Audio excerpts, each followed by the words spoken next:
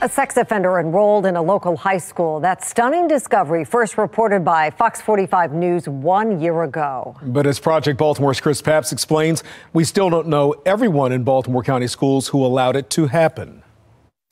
To get that answer, we filed a public records request for emails sent by certain school employees regarding sex offenders.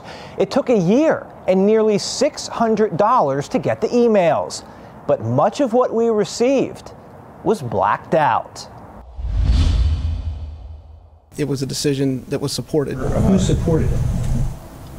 A whole bunch of different people. That was former county schools communications specialist Brandon Oland last February when Fox 45 asked why Santino Sudano, a 21 year old registered sex offender, was allowed to attend Parkville High School. Sudano is now back behind bars, accused of sexually assaulting two more underage girls, one of them a fellow Parkville student. So you're standing by your decision? This was the right decision at the time? I think what we're talking about today is what we're going to do going forward.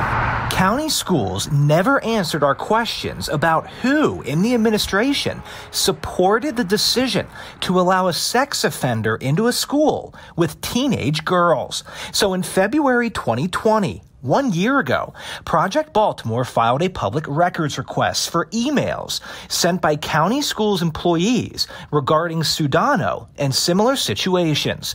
County schools denied the request and gave us nothing. My goal is always to try to reach a practical uh, solution that will be satisfactory to both sides, that they can both agree to. Lisa Kirschner, Maryland's public records ombudsman, worked with Project Baltimore and the school system to reach an agreement. Nine months and nearly $600 later, Project Baltimore received a few hundred emails. And this is what we found. In some cases, entire pages redacted. In others, just one sentence. I have seen this before. Attorney Scott Marder of Thomas and Libowitz represented Fox 45 News in a public records lawsuit against Baltimore City Schools, a lawsuit Project Baltimore won in March 2019 when a judge found city schools willfully and knowingly violated the law by withholding public documents. Marder says blacking out entire pages raises red flags. I can't evaluate it when all I see is black. I, I, don't have enough information to be able to say yes or no, this should be exempt or it shouldn't. The burden is on the government agency to establish the basis for the exemption. In this email, for example, County Schools Chief of Staff Michael Dickerson responds to a coworker concerning an email I sent requesting an interview with Project Baltimore. Dickerson writes, "We will not do an on-camera interview." But the next sentence is redacted. What did he say? We can't read it. This email with the subject Fox 45 request is from Christina Byers, the community superintendent who oversees Parkville High School. She is writing the chief of staff and Parkville principal Maureen Astorita, but the entire email is redacted. We can't read one word of it. Same thing with this email sent from county schools to County Executive Johnny Olszewski's office. When government agencies make these kind of redactions, it raises questions in my mind as to why they're doing it. And I push. I want more information because I don't think that their response to you has provided enough information to meet their burden under the exemption. Despite help from the Public Records Ombudsman, there were 10 additional emails from the Chief of Staff and Superintendent's Office that county schools refused to give us.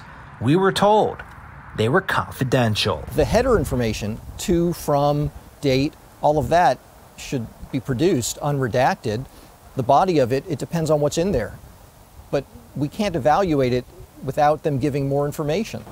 We have emailed Baltimore County Schools asking for more information on why certain sentences or entire emails were blacked out. When we hear back, we'll let you know. At 10 o'clock, exclusive new information about the murder of an MTA mobility bus driver. His name was Frankye Duckett. And tonight, Fox 45 News has confirmed police are reviewing new video evidence in that case. Keith Daniels is live right now with those new developments in a story you're seeing first on Fox. Keith? Well, our sources close to this case have confirmed that this video is part of the Duckett homicide investigation. Now, the video is so graphic that we're only showing a small part of it. Still tonight, a warning. It could be disturbing. No, don't do that, no. The video is blurry, but you can see Frankye Duckett shot and killed. Before the gunfire, he's seen getting in the bus, then heard pleading for his life. The shooter sticks his arm and gun through the window. The deadly shooting of the MTA mobility driver caught on a bus surveillance camera. The images heartbreaking for his family. No one deserves to die like that. Still, they say they want the public to see what happened. You can look at that and you can say, oh my God, that could have been my brother or that could have been my husband. So it, the visual is important because it brings a light on it. You know, it makes it real. It was one of the most gruesome videos I've seen, and I've seen a lot. TJ Smith is a law enforcement expert.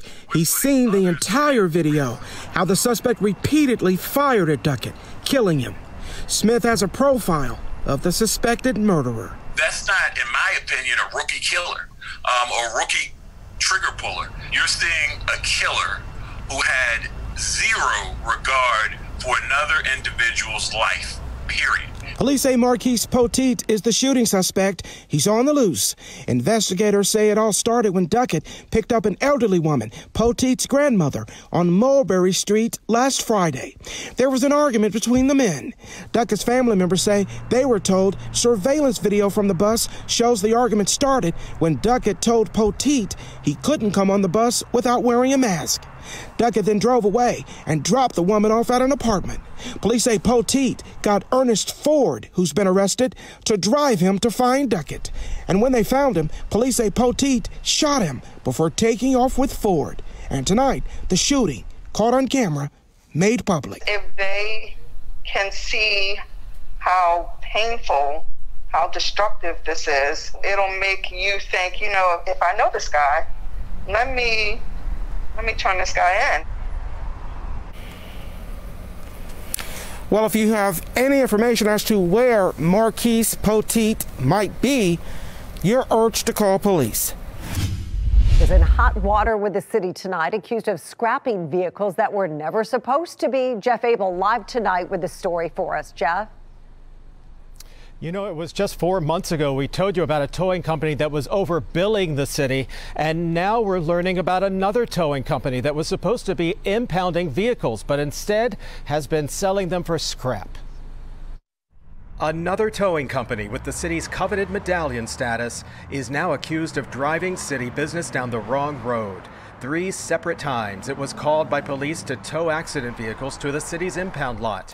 But according to an inspector general's investigation, all three vehicles had been scrapped. The person that had towed it to his yard, he received $300 per car. So he made $900. By law, the towing company is supposed to provide owners 30 days notice before scrapping a vehicle. But the inspector general says that happened just once in these three cases. Instead, the Enterprise Rental Car Company, which owned all three vehicles, was forced to pay $5,000 to get its own vehicles back. Has it happened in the past? I think if we did an investigation, we might find it has. In this case, the Inspector General's report says the vendor's inability to comply with contractual guidelines leaves the city open for lawsuits. Now the company's services are suspended. But what worries me is it could happen to our citizens, and that's who I don't want this to happen to. Well, that suspended towing company has yet to be identified. The city is now trying to decide whether to bar it from doing business with the city ever again.